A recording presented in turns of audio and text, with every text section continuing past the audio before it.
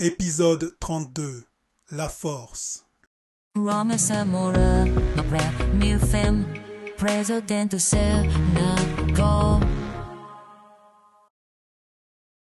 Rama Samoura, la fille qui serait la première femme président du Sénégal. Au quartier général du syndicat national, le soir même, Monsieur Kebakare entre en action et devient viral.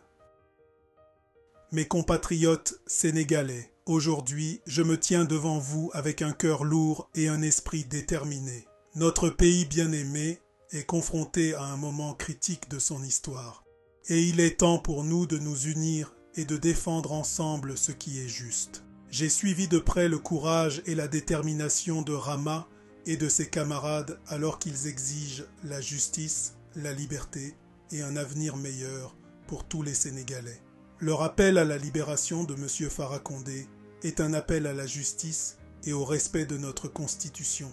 C'est un appel que nous, en tant que syndicat national, soutenons pleinement. Mais il est clair que notre gouvernement n'est pas prêt à écouter la voix du peuple. Ils ont ignoré les demandes de Rama et de ses camarades de classe et les ont menacés d'arrestation et de punition. C'est inacceptable.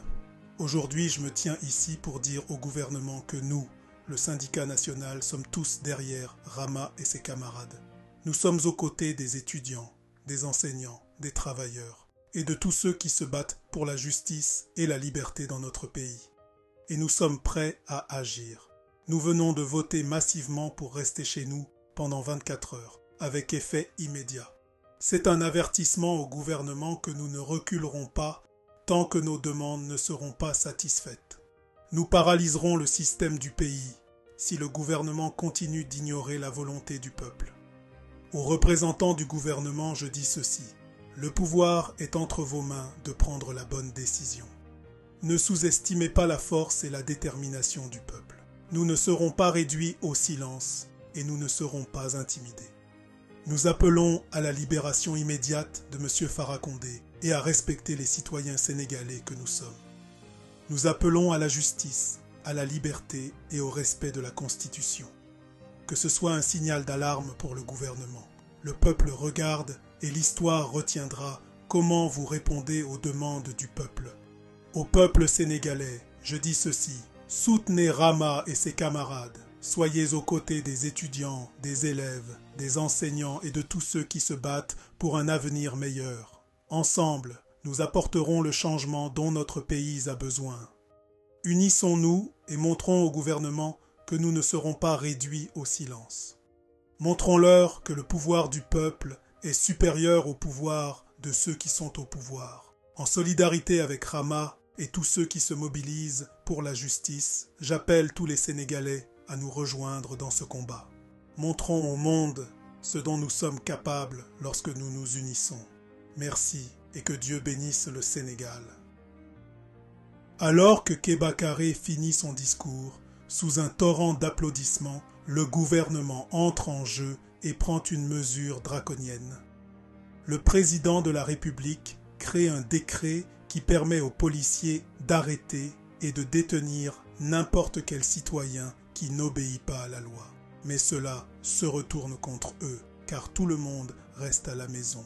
Cela a non seulement facilité le syndicat et M. Kebakare, mais a également permis à tout le monde d'éviter l'arrestation.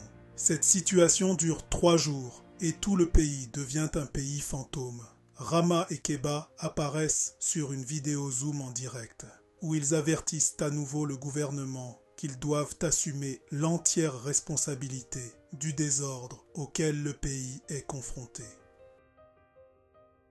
Rama, avec détermination. Bonsoir, chers concitoyens du Sénégal.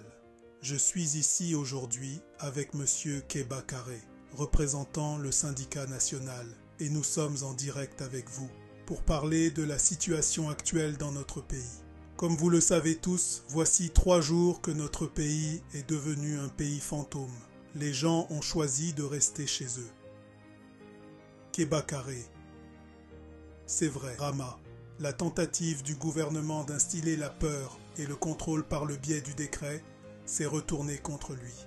Au lieu de cela, il a uni le peuple dans une puissante démonstration de solidarité et de résistance. Rama. Nous voulons faire comprendre au gouvernement qu'il ne peut pas faire taire la voix du peuple. Nous ne serons pas intimidés par leurs menaces ou leurs tentatives de réprimer nos demandes de justice et de liberté. Keba. La responsabilité de l'état actuel de notre pays repose entièrement sur les épaules du gouvernement. Ils ont ignoré les revendications légitimes du peuple et ont choisi de recourir à des mesures répressives. Rama. Nous avons une constitution qui garantit nos droits en tant que citoyens et nous exigeons que le gouvernement la respecte. Le peuple a le droit de manifester pacifiquement et d'exiger des changements. Keba. Il est temps que le gouvernement assume l'entière responsabilité du gâchis qu'il a créé. Au lieu d'écouter la voix du peuple et de répondre à ses préoccupations, il a choisi de nous ignorer et d'imposer sa volonté par la force. Rama. Nous appelons le gouvernement à libérer immédiatement M. Farah Condé et à satisfaire toutes les demandes du peuple sénégalais. Keba. Nous appelons également le gouvernement à engager un véritable dialogue avec la population et à s'attaquer aux causes profondes des problèmes auxquels nous sommes confrontés. Rama. Nous voulons un pays où la justice, la liberté et l'état de droit sont respectés. Nous voulons un pays où chaque citoyen a la possibilité de s'épanouir et de réussir. Keba. Le pouvoir du peuple est plus fort que le pouvoir de ceux qui sont au pouvoir. Nous ne serons pas réduits au silence et nous ne reculerons pas tant que nos demandes ne seront pas satisfaites. Rama. Nous demandons à tous les citoyens du Sénégal de nous rejoindre dans ce combat pour un avenir meilleur.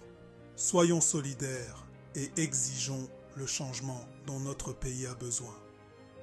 Keba. Nous sommes plus forts ensemble et unis. Nous pouvons apporter le changement dont nous avons désespérément besoin. Rama. Merci à tous pour votre soutien et que Dieu bénisse le Sénégal. Keba. Merci et que Dieu nous bénisse tous alors que nous continuons à lutter pour la justice et la liberté. Ensemble, nous vaincrons. Mais le quatrième jour, alors que le rester chez vous fait des ravages et que le Sénégal se paralyse, Rama apparaît à nouveau sur les réseaux sociaux pour encourager et motiver le peuple sénégalais. Elle propose des idées pour que les gens puissent manger et boire. Mes chers compatriotes sénégalais et sénégalaises, je me tiens à nouveau devant vous aujourd'hui face à l'adversité pour vous rappeler que nous sommes tous dans le même bateau. Les quatre derniers jours ont témoigné de la force et de la résilience de notre peuple. J'ai vu les rues vides, les magasins fermés et les villes devenir des villes fantômes. Et je sais que le bilan de ce rester à la maison n'est facile pour personne. Ceci est maintenant à jamais inscrit dans les plus belles pages de l'histoire du Sénégal. Car ce sacrifice va bientôt payer. Mais rappelons-nous pourquoi nous en sommes là. Nous sommes ici parce que nous nous battons pour la justice, pour la liberté et pour un avenir meilleur pour notre pays. Nous sommes ici parce que nous croyons au pouvoir du peuple d'apporter des changements. Et ensemble, nous pouvons surmonter tous les défis qui se présentent à nous. En ces temps difficiles, je veux suggérer quelques idées pour nous aider à faire face à la situation. Premièrement, rassemblons-nous en tant que communauté et soutenons-nous les uns les autres. Si vous avez de la nourriture supplémentaire, partagez-la avec vos voisins. Si vous avez une source d'eau, offrez-la à ceux qui en ont besoin. Montrons le véritable esprit d'Ubuntu, qui est Je suis parce que nous sommes. Deuxièmement, soyons ingénieux et créatifs pour trouver des moyens de subvenir à nos besoins. Beaucoup d'entre nous ont des compétences et des talents que nous pouvons utiliser pour générer des revenus même pendant cette période de rester à la maison.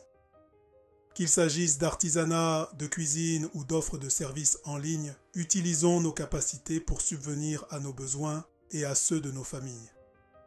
Troisièmement, rappelons-nous que la force d'une nation réside dans son peuple. Bien que nous ne soyons pas en mesure de nous rassembler physiquement, restons connectés grâce à la technologie. Contactez vos amis et votre famille, vérifiez leur bien-être et offrez une oreille attentive à ceux qui se sentent dépassés. Enfin, restons fermes dans notre exigence de justice et de liberté. Notre lutte n'est pas vaine et les sacrifices que nous faisons aujourd'hui ouvriront la voie à un avenir meilleur. Ensemble, nous tiendrons le gouvernement responsable de ces actes et nous n'aurons de cesse que nos demandes soient satisfaites. Je sais que le chemin à parcourir peut être difficile, mais inspirons-nous de l'unité dont nous avons été témoins ces quatre derniers jours. Rappelons-nous que le changement vient des efforts collectifs de gens ordinaires comme vous et moi. Alors que nous poursuivons ce Restez à la maison, restons forts, restons unis et restons engagés envers la cause. Nous écrivons l'histoire et les générations futures se souviendront de ce moment avec fierté, sachant que nous avons défendu ce qui est juste. Merci pour votre soutien indéfectible et puissions-nous continuer à inspirer l'espoir et le changement dans notre bien-aimé Sénégal. Ensemble, nous surmonterons ce défi et ensemble, nous construirons un avenir meilleur pour tous. Restez en sécurité, restez forts et gardez espoir.